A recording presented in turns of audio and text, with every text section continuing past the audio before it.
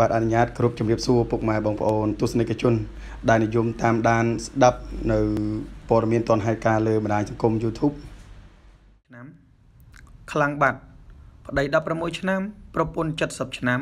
ប្រច័នប្រពន្ធពេកចាក់សោប្រពន្ធទុកក្នុងផ្ទះតែម្ដងពិតជាចម្លែកណាស់ប្តីប្រពន្ធថ្មីថ្មោងដែលមានអាយុវ័យខុសគ្នាដូចមេឃនឹងដី បានធ្វើឲ្យល្បីខ្លាំងនៅប្រទេសឥណ្ឌូនេស៊ី ព្រោះពួកគេមានអាយុខុសគ្នាដូចជាដូន និងចៅទៅហើយ ដែលប្តីមានអាយុទើបតែ16ឆ្នាំ ហើយប្រពន្ធវិញមានអាយុ70ឆ្នាំទៅហើយពួកគេធ្លាប់បានគម្រាមធ្វើអត្តឃាតទាំងពីរនាក់ទៀតផង ប្រសិនបើមិនព្រមឲ្យពួកគេរៀបការ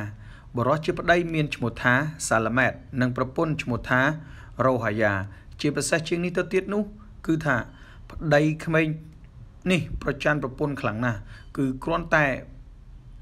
ពេលខ្លួនដើរចេញក្រៅទោះមួយផ្លែតក៏ដោយក៏គាត់តែងតែចាក់សោទុកប្រពន្ធនៅក្នុងផ្ទះដែរទោះបីជាទទួលពាក្យសោយចំអកពីមនុស្សជាច្រើនយុវជនសាឡាម៉ែតនិងរ៉ូហាយ៉ា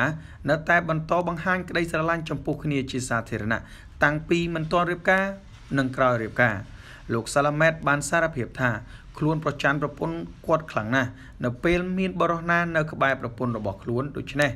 គាត់ សម្រេចចិត្តចាក់សោប្រពន្ធក្នុងផ្ទះនៅពេលចេញទៅក្រៅម្ដងម្ដងបាទខ្ញុំចាក់សោប្រពន្ធទុកព្រោះខ្ញុំខ្លាចថាបរោះផ្សេងចូលផ្ទះពេលខ្ញុំចេញទៅទិញម្ហូបអាហារឬបារីប៉ុន្តែខ្ញុំនឹងដោះសោពេលត្រឡប់មកផ្ទះវិញបើតាមប្រភពមួយបានផ្សាយថា បន្ទាប់ពីរៀបការរួចពួកគេ បានធ្វើដំណើរទៅក្រេបទឹកឃ្មុំដល់ទីក្រុងសូម៉ាត្រា ខាងត្បូងខេត្តប៉ាឡាំបាំង និងបានថតរូបភាពផ្អែមល្ហែមជួយច្រើនសន្លឹក